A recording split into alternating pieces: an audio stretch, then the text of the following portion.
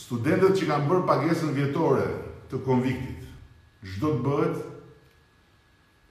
dhe a do e marrin bursën ekselentët. Ekselentëve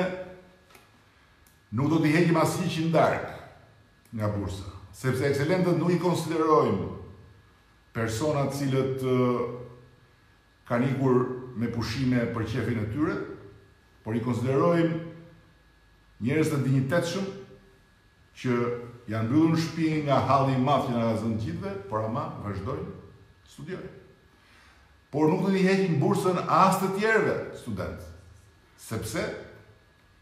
nuk janë atje ngaqë s'duan të shkojnë në shkollë, siç nuk shkojnë